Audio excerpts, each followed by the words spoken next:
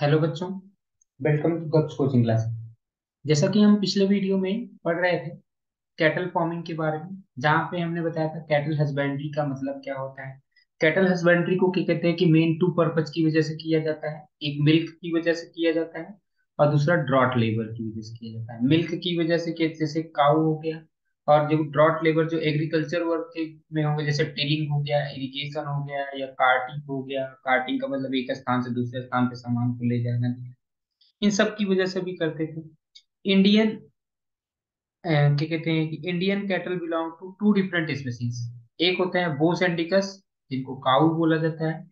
एक होता है बोस बुबिलस हाँ बोस बुबलिस बोस बुबलिस जो होता है वो बफेलो होते हैं, क्या? एक होता है बोस इंडिकस ये मैंने पिछले वीडियो में पढ़ा रखा था। और क्या कहते हैं कि? बोस बुबलीज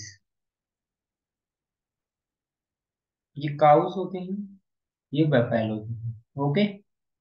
तो ये ऐसा कुछ हमने पढ़ रखा था थोड़ा थोड़ा हाँ तो ये सारी चीज़ें हमें ध्यान रखना है। फिर मिल्क प्रोड्यूसिंग एनिमल्स जो होते हैं, उन्हें मिल्क एनिमल्स बोला जाता है, जो डेयरी एनिमल्स बोला जाता है।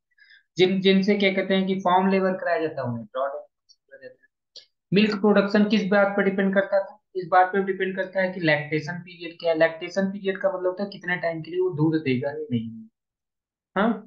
Meaning period of milk production after the birth of the calf calf के बर्थ के बाद वो कितने टाइम तक मिल्क देगा? इस ग्रोथ को बोला जाता है milk lactation period lactation period का मतलब होता है जब बच्चा का मतलब गाय ने बच्चा दे दिया या भैंस ने बच्चा दे दिया, उसके बाद वो कितने दिनों तक दूध देगी? So milk production can be increase lactation period अगर इंक्रीज किया जाता है तो उनका क्या कहते हैं कि मिल्क प्रोडक्शन भी इंक्रीज किया जाता है। अगर लैक्टेशन पीरियड हम किसी भी तरीके से एग्ज़ाम पर इंक्रीज कर दें। जैसे यहाँ पे जर्सी हो गया या ब्राउन स्विस हो गया, ये सब क्या होते हैं? ये फॉरेन ब्रीड्स की क्या है are selected for long lactation period while local breeds किस लिए? हाँ ये क्या कहते हैं कि अगर मान लो कि डिसीजेस के लिए क्या कहते हैं कि डिसीजेस को सहलाना है। मतलब कि अगर क्या कहते हैं कि ज़्यादा डिसीजेस को सह सकते तो कौन सी गाय सही रहेंगी? लोकल गाय। यहाँ पे लोकल गाइस नहीं है जी यू आई लोकल गाय है, गाय मतलब local cows okay local cows किस लिए सही रहेंगी? डिसीज के लिए। डिज़ीज़ रेजिस्टेंस के लिए लोकल काउस लेकिन अगर लॉन्ग लैक्टेशन पीरियड तो लॉन्ग लैक्टेशन पीरियड के लिए बाहर वाले। तो इन दोनों का अगर हम क्रॉस ब्रीड कराया जाए क्रॉस ब्रीड का मतलब क्या हुआ कि अगर क्या कहते हैं कि अगर क्रॉस ब्रीड का मतलब क्या होता है? क्रॉस ब्रीड का मतलब हुआ क्रॉस ब्रेड का मतलब होता है सेक्सुअल रिलेशनशिप बनवाना। किसके किसके बीच में?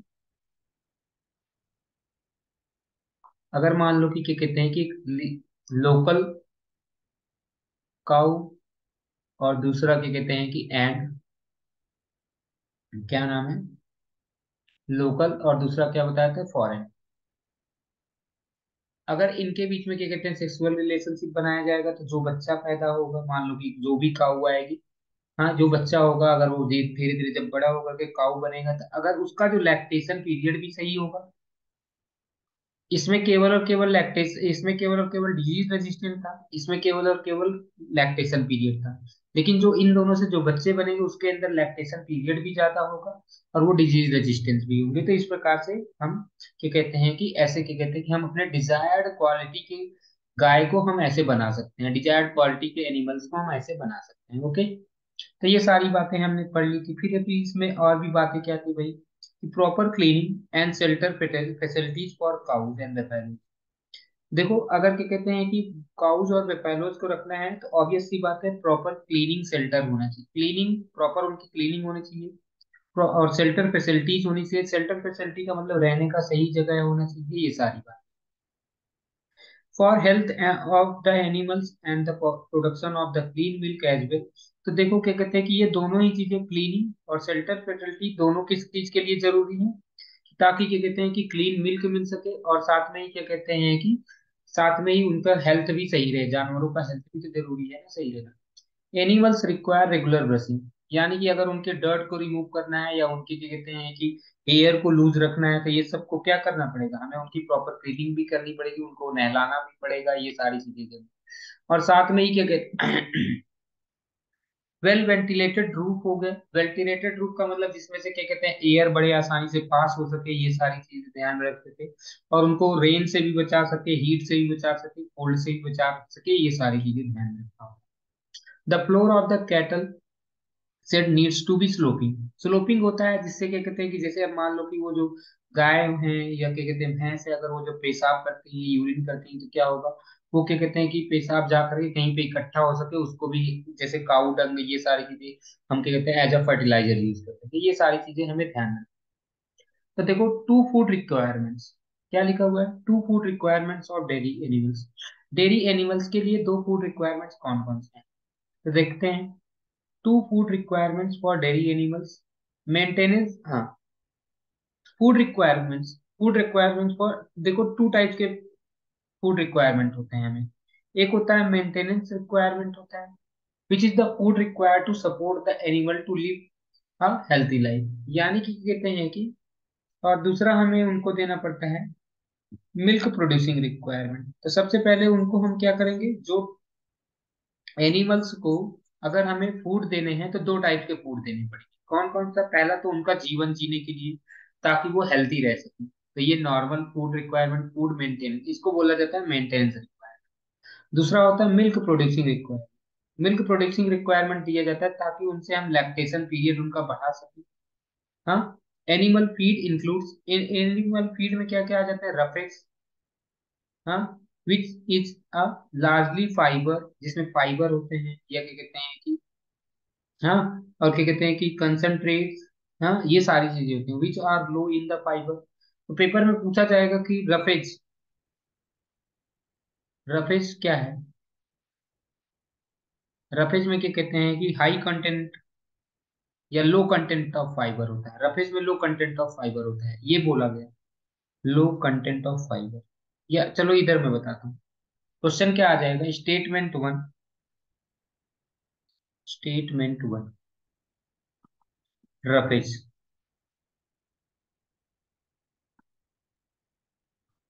Roughage has roughage has low content of fiber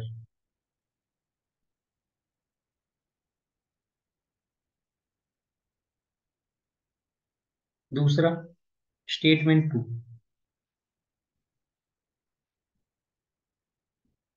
concentrates has concentrate have high concentration of fiber. High content of fiber. तो दोनों ही गलत है मुझे लग रहा है। हाँ तो दोनों ही गलत है क्योंकि तो हम आंसर में लिख देंगे बोथ आर रॉन्ग क्यों दोनों ही गलत है? क्योंकि भाई यहाँ पे देखो क्या लिखा है साफ़ साफ़ लिखा हुआ है कि रफेज जो होते हैं, उसमें क्या होता है? लार्जली फाइबर होते और जो कंसंट्रेट्स होते हैं उसमें लो इन फाइबर ठीक है? Contains relatively high levels of protein roughage में क्या हो, इसमें क्या होता है? प्रोटीन ज़्यादा होती है। कंसंट्रेट्स में क्या होते हैं? प्रोटीन और अदर न्यूट्रिएंट्स ज़्यादा होते हैं ठीक है?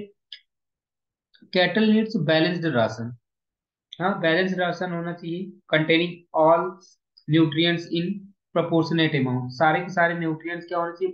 प्रोपोर्शनेट अमाउंट में होना चाहिए। ऐसा नहीं कि कोई बहुत ज़्यादा हो गया और कोई है ही नहीं। कोई न्यूट्रिएंट्स है ही नहीं या तो कोई न्यूट्रिएंट बहुत ज़्यादा ही हो गया, ऐसा नहीं होना चाहिए। Besides such nutrition food nutritional food material certain feed additives containing micronutrients promote जैसे हेल्थ एंड मिल्क आउटपुट को क्या कहते हैं, बढ़ा देते हैं। कुछ एग्जांपल होंगे देखें cattle suffer from a number of disease देखो कैटल में क्या होता है, बहुत सारे डिसीज भी होती है। The disease besides causing death उनको डेथ के बजाय क्या कहते हैं उनके मिल्क प्रोडक्शन को भी देखो डिसीज क्या होती है कि क्या कहते हैं कि डेथ का कारण तो बनती है उनके, और साथ में क्या कहते हैं उनके मिल्क प्रोडक्शन को भी कम कर देती है। A healthy animal feeds regularly and has a normal posture healthy animal जो होगा वो क्या कहते हैं कि बड़े आसानी से डेली खाना खाएगा मतलब डेली चारा खाएगा और शांति से बैठा रहेगा। लेकिन the parasites of the cattle may be both external parasite और इंटरनल पैरासाइट जो इनके पैरासाइट जो होते हैं कैटल के, वो अंदर भी होते हैं, बाहर भी होते हैं. जैसे कि कहते हैं कि the external parasite live on the skin external parasite क्या होंगे? इनके स्किन पे ऐसे क्या कहते हैं कि ऊपर रहेंगे, जैसे जुए वगैरह, ये सारी चीज़ें होंगी. ठीक है? और क्या कहते हैं कि ये स्किन डिसीज के कारण भी बनते हैं. The internal parasites like worms affect the stomach जो वॉर्म्स होंगे या इंटेस्टाइन को इनको खराब कर देते हैं तो इनके लीवर को खराब कर देते हैं। Infectious diseases are also caused by bacteria and viruses तो वैक्सीनेशन भी इंपॉर्टेंट होता है। वैक्सीनेशन की सहायता से भी क्या कहते हैं कि हम बड़े आसानी से अपने जानवरों को कहते हैं, बीमारियों से बचा सकते हैं। ठीक है? एक प्रकार से हमने एनिमल फ़ार्मिंग पढ़ लिया, जिसको क्या कहते हैं हम फिर अगला आता है पोल्ट्री फ़ार्मिंग फिर अगला पार्ट जो है, इसका सेकेंड पार्ट जो है, वो क्या है? पोल्ट्री फ़ार्मिंग पोल्ट्री फ़ार्मिंग का मतलब होता है मुर्गी का पालन। मुर्गी पालन करना। पोल्ट्री फ़ार्मिंग का मतलब होता है मुर्गी पालन करना। ठीक है? तो यहाँ पे हम क्या करेंगे? मुर्गी को को पालने के बारे में पढ़ेंगे।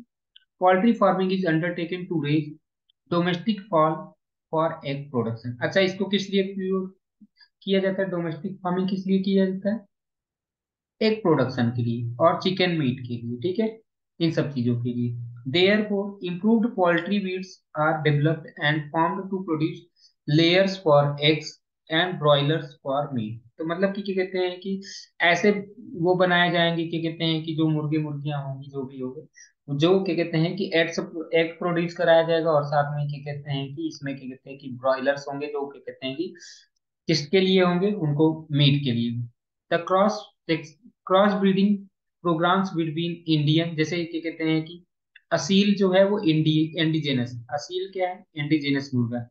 ओके और क्या कहते हैं कि एंड फॉरेन में कौन कौन से फॉरेन में जैसे क्या कहते हैं कि लेग हॉर्न फॉरेन में क्या है? लेग हॉर्न इन दोनों का क्रॉस ब्रीड कराया जाएगा। क्रॉस ब्रीड का मतलब मैंने अभी बताया था सेक्सुअल रिलेशनशिप कराया जाएगा। तो एक एक क्या कहते हैं कि वेराइटी इनकी इंप्रूवमेंट होगी और क्या कहते हैं कि न्यू वेराइटी बनेगी।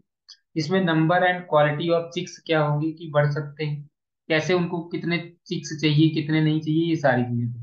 तो ये देखो दोनों के फ़ोटोज़ में दिखा, इसमें क्या कहते हैं एनसीईआरटी ने बना रखी, क्या कहते हैं कि असील, ये है असील, ठीक है? और ये मतलब कि क्या कहते हैं कि ये लोकल है, और ये क्या कहते हैं कि फॉरेन है। इन दोनों का अगर क्रॉस ब्रीड कराया जाएगा तो मतलब डिज़ायर कैरेक्टरिस्टिक के क्या कहते हैं कि मुर्गे मुर्गियाँ पाए जा सकते हैं।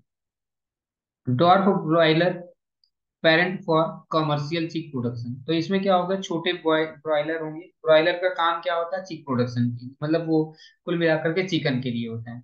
समर एडेप्टेशन कैपेसिटी देखो क्या होता है कभी कभी कुछ जो होंगे, वो कैपेसिटी समर कैप समर को क्या कहते हैं कि नहीं सह पाते तो इस, इनके क्या कहते हैं कि समर को टॉलरेट करने की भी कैपेसिटी बढ़ जाती है।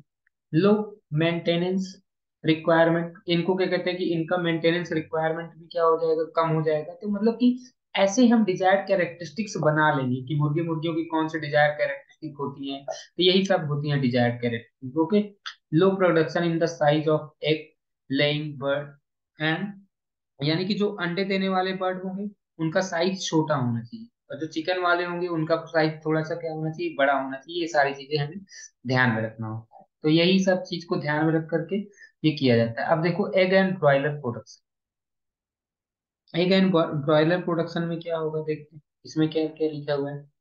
Broiler chicken are fed with vitamin rich supplementary जो ब्रॉयलर चिकन होंगे उनको क्या कहते हैं कि, क्या दिया जाएगा? विटामिन रिच सप्लीमेंट्री जैसे feed for good growth rate and better feed efficiency मतलब कि उनका क्या कहते हैं कि उनको ये चीज़ें खिलाई जाएँगी विटामिन रिच सप्लीमेंट्री तो वो जल्दी जल्दी बड़े हो जाएँगे। जल्दी जल्दी बड़े हो जाएँगे तो अब अब जो जल्दी बढ़ेंगे तो उनको जल्दी काटा भी जाएगा। ये भी कॉन्सेप्ट सही है।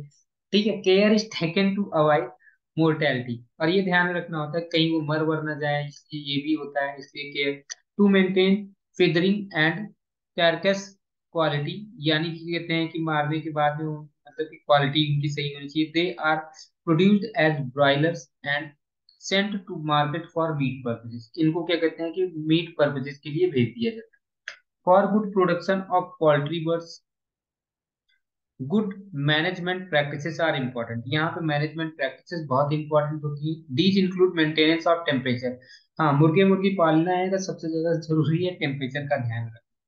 ठीक है? And hygienic conditions in housing and poultry feed यानी कि जहाँ पे इनको रखेंगे, वहाँ का हाइजीनिक कंडीशन भी ध्यान में रखना होता है। And prevention and control of diseases and pest अब मान लो गलती से क्या कहते हैं कि डिसीजेस आ गए। एक साथ में सौ के सौ मुर्गे सारे के सारे मर जाएँ, ये भी समस्या है। मतलब बहुत सारे मुर्गे मुर्गियाँ एक साथ में मर सकते हैं, ये भी समस्या होती है थोड़ी, ठीक है? तो ये सब हमें ध्यान में रखना होता है। जब हम क्या कहते हैं कि हाँ तो पेपर में पूछा जा सकता है कि क्या कहते हैं कि कौन कौन सी चीज़ें ध्यान रखनी है कि अगर आपको मुर्गी मुर्गियों का पालन करना है पोल्ट्री फ़ार्मिंग के लिए। The housing, nutritional and environmental requirement for broiler are somewhat different. अच्छा जो एग देने वाले होंगे जो एग देने वाले मुर्गी होंगी, और उनसे ब्रॉयलर का दोनों का फ़र्क होगा ना टेम्परेचर टेम्परेचर क्योंकि दोनों के लिए अलग अलग रिक्वायरमेंट होगी, वही सारी चीज़ें यहाँ द राशन यानी कि daily food requirement for broiler is protein the हाँ इनको क्या होना चाहिए कि प्रोटीन देना है, ज़्यादा प्रोटीन देना है। The level of vitamin A and K is kept high in the poultry feeds poultry feeds में क्या कहते हैं कि ए और के विटामिन को बहुत ज़्यादा रखना ओके ये ध्यान रखें कौन कौन से विटामिन को ज़्यादा रखा जाता है? पोल्ट्री फ़ीड में ए और K vitamin poultry fowl suffer from number of diseases इनमें बहुत सारे डिसीजेज हो सकती हैं। बैक्टीरिया की वजह से हो सकता है वायरस की वजह से हो सकता है फंगी की वजह से हो सकता है, या पैरासाइट्स की वजह से हो सकता है, या कभी कभी न्यूट्रिशनल डिफिशियंसी मतलब क्या कहते हैं कि किसी न्यूट्रिशन की कमी भी हो सकती है।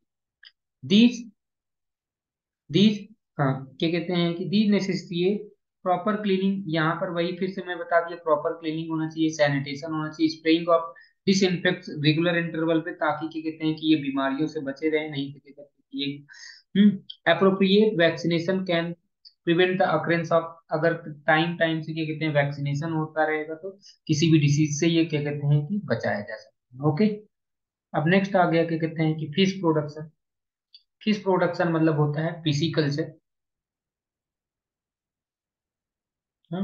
फिशी कल्चर मतलब फ़िश को पालना है।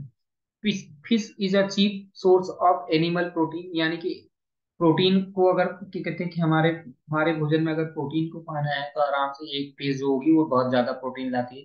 Fish production includes the finned true fish as well as shellfish यानी कि कहते हैं कि एक फिंड ट्रू फ़िश होती है और एक सेल फ़िश होती है। ये सब क्या कहते हैं कि जैसे एग्जांपल है इनके प्रॉन्स एंड मोल मोलस्कस दो फ़िश के नाम है यहाँ पे।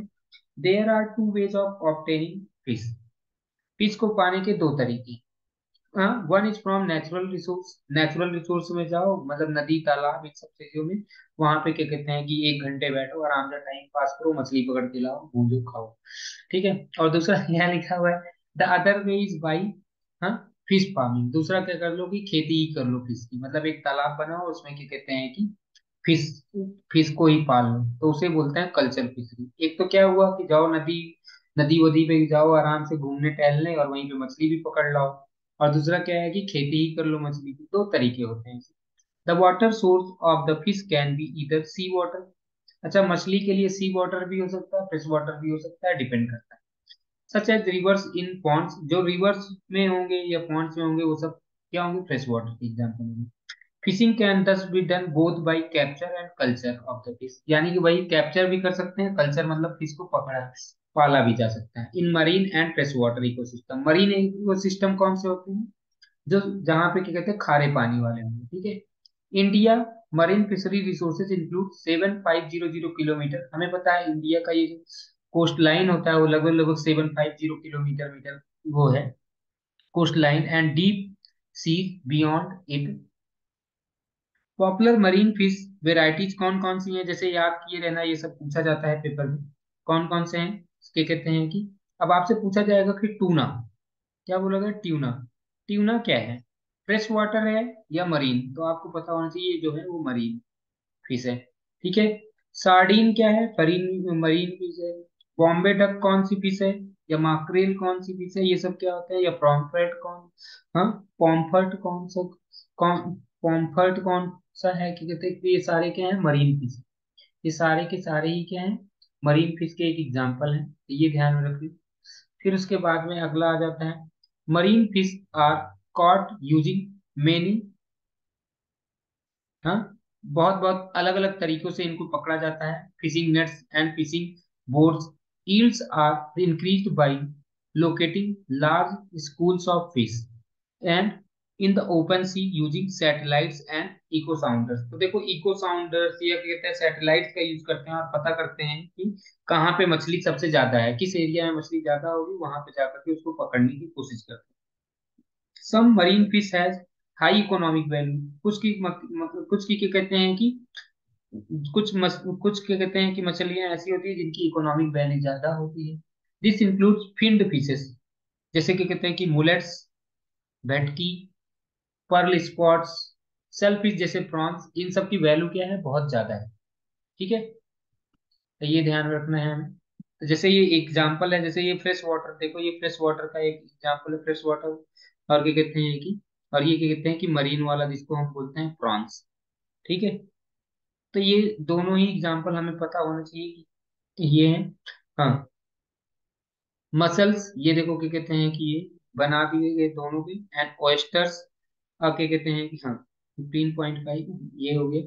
Mussels and oysters as well as seaweed oysters are also cultivated for the pearls they में। तो यानी कि कहते हैं कि इन सब चीज़ों के लिए हमें क्या लिखा हुआ है? एक बार इसको मैं फिर से बताता हूँ। कि some marine fish of high economic value are also framed farmed in sea water sea water में इनको पाला जाता है। This this include finned fishes like mullets bhetki and pearl spots shellfish such as prawns इन सबको पाला जाता है, ये प्रॉन्स है। ठीक है? एंड अब आगे mussels and oysters are also as well as seaweed इन सबको भी पाला जाता है। Oysters are also cultivated for the pearls they में। तो उनके क्या कहते हैं कि पल्स के लिए भी उनको पर्ल ओस्टर्स जो होते हैं वो पर्ल बनाते हैं तो उनको भी इसलिए पाला जाता है। अगला आता है marine fishes marine fish stock get further depleted धीरे धीरे क्या होता है मरीन फ़िश स्टॉक क्या होता है, कम हो गया। And demand for more fish can only be met by culture fishery तो जो मरीन फ़िश जैसे जैसे पॉपुलेशन बढ़ती गई तो क्या हुआ? मरीन फ़िश स्टॉक क्या हुआ कि क्या उतना ही लिमिटेड में काम हो पाएगा? नहीं हो पाएगा।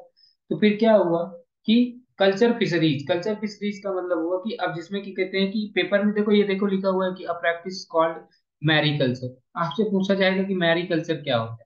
तो मैरी कल्चर का मतलब क्या होता है? मैरी कल्चर का मतलब क्या होता है कि कल्चर फिशरीज ठीक है?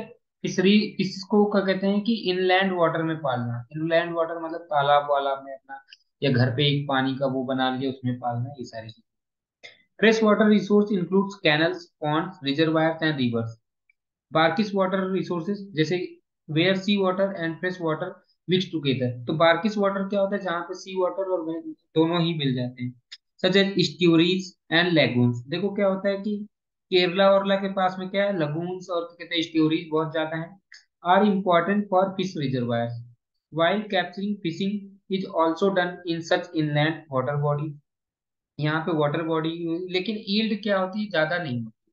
Most fish production from these resources is through aquaculture तो यानी कि क्या कहते हैं कि इनलैंड फिशरीज का जो सबसे मेन किससे होता है? एक्वाकल्चर से होता है। Fish culture is sometimes done in combination of rice crop देखो क्या होता है कि राइस क्रॉप के साथ में ही राइस क्रॉप के साथ में कभी कभी क्या होता है कि राइस क्रॉप को पानी की बहुत ज़्यादा ज़रूरत होती है। तो उसी के साथ में क्या कहते हैं? मछलियाँ भी पाल लो उसी में। So that fish are grown in water in paddy field तो इसी को बोल देते हैं एक्वाकल्चर ठीक है? More intensive fish farming can be done in composite fish culture system both local and imported fish species हाँ? लोकल और साथ में इम्पोर्टेड फ़िश स्पीसीज की भी खेती की जा सकती है। खेती करना मतलब यहाँ पे क्या हुआ? मछलियों को पालने की बात कर रहा हूँ। ओके? फिर आगे आ जाता है अगला। In such a system a combination of five और सिक्स स्पीसीज यहाँ एक ही सिंगल फ़िश पॉइंट में क्या होता है? पाँच छह प्रकार की मछलियों को एक साथ पाल दिया जाता है। These species are selected so that they do not compete for food अच्छा इनको इस तरीके से रखा उन्हीं मछलियों को रखा जाएगा जो एक दूसरे के फ़ीस मतलब कि जैसे मान लो कि मैंने एग्जांपल बता देता हूँ। एक ए है मछली, एक बी है। ए मछली सी को खाती है बी मछली डी को खाती है। तो क्या किया जाएगा? इन दोनों मछलियों को एक ही तालाब में पाल दिया जाएगा। क्योंकि सी और डी यहाँ पे कुछ ग्रास व्रास ऐसे समझ लो, इन सब चीज़ों को खाने में। तो इसका मतलब ये समझ लेना कि कहते हैं कि भाई जो मछलियों के फ़ूड जो होंगे, वो अगर वो फ़ूड के लिए कंपटीशन नहीं कर रही है तो उनको एक तालाब में पाला जाएगा। They do not compete for food among them, having different types of food habit यानी कि जितनी भी मछलियों को एक तालाब में पाला जाएगा, सबके फ़ूड हैबिट्स क्या होंगे? अलग अलग होंगे। As a result the food available in the all parts of the pond is use इस प्रकार से जितना भी फ़ूड अवेलेबल होगा पूरे पॉन्ड में, उसको यूज़ कर लिया जाएगा, ठीक है? एज वेल एज कैटलेस और सरफेस फीडर्स कैटलेस क्या होते हैं? सरफेस फीडर होते हैं। रोहू मतलब कि ये सबसे नीचे खाने पीने वाले होते हैं। नीचे से जाकर के सरफेस में खा करके। रोहू जो होते हैं, rohu feed in middle zone देखो, जैसे ये मान लो कि ये तालाब है तो जो क्या कहते हैं? कैटलेस होंगे। कैटलेस मछलियाँ जो होंगी, वो नीचे जाकर के खाएँगे। रोहू जो होंगे, यहाँ की चीज़ों को खाएँगे, जो भी यहाँ पे होंगे, कीड़े मकोड़े, इनको खाएँगे। वही लिखा हुआ है मृगाल्स एंड कॉमन कॉप्स और बॉटम फीडर्स कुछ क्या होंगे क्योंकि अच्छा सॉरी सॉरी सॉरी गलत हो गया। हाँ देखना। कैटलेस जो होंगे, वो सरफेस मतलब ऊपर की ओर की चीज़ों को खाएँगे, जो यहाँ पे होगा इसको कैटलेस खाएँगे फिर क्या कहते हैं कि यहाँ पे, ये इस पे कौन खाते हैं? कैटलेस इसमें कौन से खाते हैं? रोहूस। और जो बॉटम पे क्या होते हैं? बॉटम फीडर्स कौन से होते हैं? इनको बोला जाता है कॉमन कार्ब्स इन्हें क्या कहते हैं? कॉमन कार्ब्स होते हैं बॉटम फीडर होते हैं. And grass carp feed on the weeds और जो ग्रास कार्ब्स होंगे ये क्या होंगे? वीड्स मतलब वीड्स का मतलब होता है कि जैसे कि कहते हैं कि खरपतवार. मैंने बता रखा है वीड्स का मतलब होता है खरपतवार. ये सब चीज़ों को खाते हैं. अदर दीज स्पीसीज हाँ। Together these species can use all the food in the pond without competing with तो ये देखो, इनका सब क्या क्या हुआ? ये सब क्या हो रहा है कि अलग अलग तरीके से खा रहे हैं अलग अलग फ़ूड खा रहे हैं। जब अलग अलग रिक्वायरमेंट है तो एक दूसरे को हार्म नहीं करेंगे, ये सारी बात वन प्रॉब्लम यहाँ पे क्या प्रॉब्लम है? कंपोजिट फ़ीस कल्चर से क्या प्रॉब्लम है? तो यहाँ पे देखो प्रॉब्लम क्या है? इसको समझते हैं। One problem with such composite fish culture is that many of these fish breed only during monsoon ये क्या होते हैं? कब ब्रीड करते हैं? मानसून के टाइम में. Even if seed is collected from the wild it can be mixed with that of the other species तो क्या होगा कि इनके जो अंडे जो होंगे, वो मिक्स हो जाएँगे आपस में. तो ये भी एक समस्या की बात है. So major problem in the fish farming is that lack of availability of good seed good quality of seed इनकी नहीं मिल पाएगी. ठीक है? ये समस्या हो जाएगी. To overcome this problem ways have now have been worked out to breed these fish in ponds using hormonal simulation अब क्या किया जाएगा? हार्मोन्स इनके चेंज कर दिए जाएँगे। हार्मोन चेंज कर दिए जाएँगे तो क्या होगा? अलग अलग टाइम पे मछलियाँ क्या होंगी? अलग अलग रिप्रोडक्शन के लिए अलग अलग टाइम पे मछलियाँ अलग अलग तैयार ओके और एक क्या कहते हैं कि एक और है। लास्ट जिसको हम बोलते हैं बी कीपिंग बी कीपिंग का मतलब हो गया कि मधुमक्खी का पालन करना है। हाँ, ठीक है? बी कीपिंग मधुमक्खी पालन करना। अब देखते हैं मधुमक्खी पालन में क्या है। Honey is widely use and therefore beekeeping honey का बहुत ज़्यादा यूज़ किया जाता है, इसलिए क्या कहते हैं बी कीपिंग हमें यूज़ करना पड़ता है। Beekeeping for making honey has become agriculture enterprise यानी क्या कहते हैं कि अब क्या कहते हैं बी कीपिंग भी एक प्रकार से एग्रीकल्चर प्रोसेस बन चुका है। Since beekeeping needs low investment. अच्छा बी कीपिंग में इन्वेस्टमेंट ज़्यादा चाहिए नहीं होता है। फार्मर्स यूज़ करते हैं इसको बड़े आसानी से और इसमें क्या होता है कि एडिशनल मतलब कि जो फार्मर्स पहले खेती हुई थी तो कर ही रहे होते हैं। साथ में क्या कहते हैं बी कीपिंग भी कर लिए तो एक प्रकार से एडिशनल इनकम होगी कि पहले वो अपना खेत का तो पैसा आ ही रहा है, साथ में कहते हैं बी कीपिंग का भी पैसा। In addition to honey bee beehives are source of wax यानी कि इनका सबका वैक्स वैक्स बनाने के लिए यूज़ किया जा सकता है जिनको। तो ये सारी चीज़ें ध्यान रखना। कि क्या केवल और केवल हनी ही मिलती है क्या बीकी नहीं वैक्स मिल जाएगा जिसका मेडिसिन हाँ दवाइयाँ बनाने में यूज़ किया जाता है। लोकल वेराइटीज ऑफ़ बीज कौन कौन सी है? बीज की लोकल वेराइटीज कौन कौन सी हैं? जैसे कहते हैं कि Apis cerana Apis cerana indica ये कहाँ इंडियन भी इनको बोला जाता है। ए रॉक बी रॉक भी बोला जाता है इसको। And florea and little bee and Italian bee जिसको क्या कहते हैं कि अमेलिफेरा ये इटालियन है। पेपर में पूछ लिया जाता है, एक इटालियन बी का नाम बताओ। तो आपको बता देना पड़ेगा A mellifera has also been brought in increase increase yield of honey honey मतलब कि क्या कहते हैं हनी के प्रोडक्शन को ज़्यादा बढ़ाने के लिए इन सबको लाया गया this has been variety commonly use for commercial honey production का किस लिए यूज़ किया जा रहा है? Commercial honey production commercial honey production का मतलब है बेचने के लिए यूज़ किया गया ओके यहाँ तक बात समझ में आ गई होगी। अब आगे देखो क्या बताया इन्होंने। Italian bees have high honey collection capacity तो हाई हनी कलेक्शन कैपेसिटी किसमें है? Italian bees they sting somewhat less या they stay in given beehive for long periods ये क्या कहते हैं? लॉन्ग पीरियड्स के लिए वहाँ पे रहते हैं अपने छत्ते में बिहेव का मतलब होता है छत्ता। And breed very well the for commercial honey production bees farms और अपायरीज आर स्टैब्लिश्ड तो क्या कहते हैं कि बीच फॉर्म अब आपसे पूछा जाएगा अपायरीज क्या होते हैं? अपायरीज अपियरीज क्या होते हैं? अपियरीज क्या होते हैं? तो आपको बताना पड़ेगा ये बी फॉर्म्स होते हैं। अपियरीज का मतलब होता है बी फॉर्म ओके तो ये सारी बातें आपको छोटी मोटी बातें पता होनी चाहिए। The value of the quality of honey depends upon the pasturage और the flower available to the bees pasturage का मतलब हो गया कि जहाँ तक उनका फॉर्म ये मतलब कि बी इस पे जो क्वालिटी होगी वो हनी की, इस बात पे डिपेंड करती है वहाँ पे फ्लावर कितने अवेलेबल होंगे। जितने ज़्यादा फ्लावर अवेलेबल होंगे, उतना ही अच्छा क्या कहते हैं क्वालिटी होगी। ठीक है? In addition to adequate quantity of pasturage kind of flowers available will determine the taste of the honey और क्या कहते हैं कि अगर मान लो पॉस्चरेज बहुत ज़्यादा है तो कितने टाइप्स के फ्लावर हैं, इस बात पे भी डिपेंड करता है कि उसका टेस्ट कैसा होगा। ठीक है? इस प्रकार से हमने ये सारी चीज़ें पढ़ ली। हाँ? इस चीज़ें से हमने क्या कहते हैं कि ये सारी चीज़ें पढ़ ली। अब आपको यहाँ तक ये सारी, इन सब चीज़ों के बारे में पता होना चाहिए कि क्या है, क्या पढ़ाया गया, और एक प्रकार से हमारा ये चैप्टर क्या हो गया, खत्म हो गया। तो ये तो आप इसमें पढ़िएगा, जो भी नहीं समझ में आएगा, आप कमेंट करके पूछ सकते हैं। और पूरा एकदम बढ़िया से एक एक चीज़ को एक एक लाइन को समझना ज़रूरी है। ओके? तो इस प्रकार से हमारा ये चैप्टर खत्म हो गया। आप एक्सरसाइज कर लेंगे सारे के सारे। और जो नहीं समझ में आएगा वो आप पूछ सकते हैं।